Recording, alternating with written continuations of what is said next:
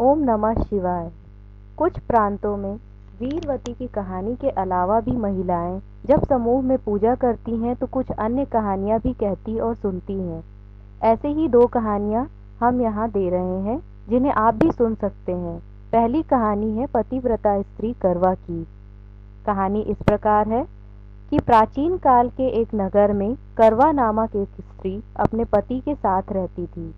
वह बड़ी ही पतिव्रता थी और भगवान शिव और गौरी मैया की अनन्य भक्त थी। एक बार उसका पति नदी में स्नान करने गया। वहाँ उसका पैर मगर ने पकड़ लिया।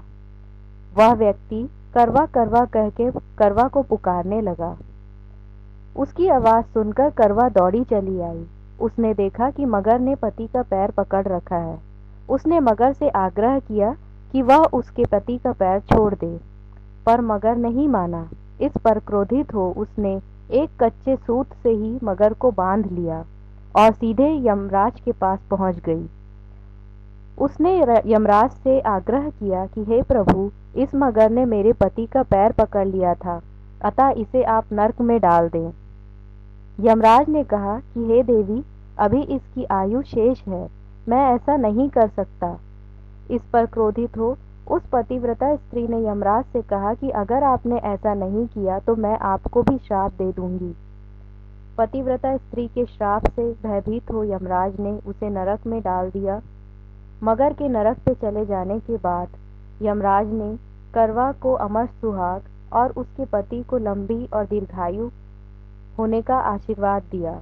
इस तरह से दोनों पति पत्नी सुखपूर्वक रहने लगे।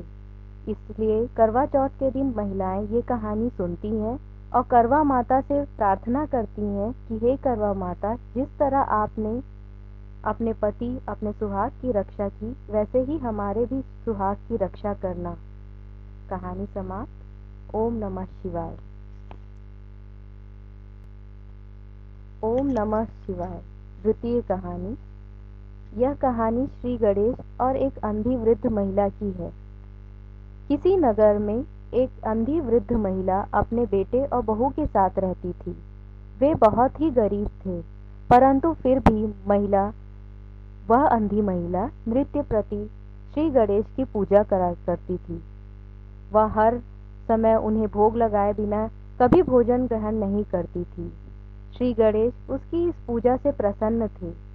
एक दिन वह उसके सपने में आए और उन्होंने कहा कि हे हे मैया, तुम मेरी नित्य प्रति पूजा करती हो। इससे मैं बहुत ही प्रसन्न हूँ। मांगो क्या मांगती हो? उस वृद्ध महिला ने कहा कि, हे प्रभु, मुझे मांगना नहीं आता, सो मैं नहीं मांग सकती। तब गणेश जी ने कहा कि, हे मैया, तुम बहुत भोली हो। तुम ऐसा करो कि अपने बेटे और बहू से पूछ लेना कि तुम्हें क्या चाहिए। मैं कल फिर आऊँगा। यह कर कर श्री गणेश अंतर ध्यान हो गए। दूसरे दिन उस वृद्ध महिला ने अपने बेटे और बहू से पूछा। तब बहू ने कहा कि आप बहुत सा धन मांग लीजिए, अपने लिए नाती पोता मांग लीजिए। फिर उसने कहा, उस वृद्ध महिला ने अपने पड़ोसियों से पूछा। उन्होंने कहा कि, हे मैया, तुम तो इतनी वृद्ध हो चुकी हो कि धन का तुम क्या करोगी? इसलिए तुम अपने लिए नेत्र मांग लो। अब बूढ़ी महिला इस सोच में पड़ गई कि उसे आखिर मांगना क्या है। तब उसने कहा, उसने सोचा कि क्यों ना मैं कुछ ऐसा मांगू जिससे सबकी इच्छा पूरी हो जाए। दूसरे दिन जब श्री गणेश आए, तब उन्होंने कहा कि मैं तुम पर बहुत ही प्रसन्न हूँ, मांगो क्या मांगती हो। तब बूढ़ी महिला ने कहा,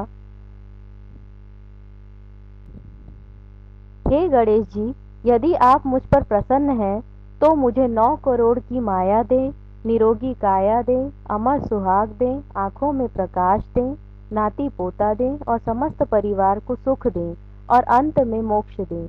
बुढ़िया की बात सुनकर गणेश जी बोले, बुढ़िया माँ, तूने तो मुझे ठग लिया।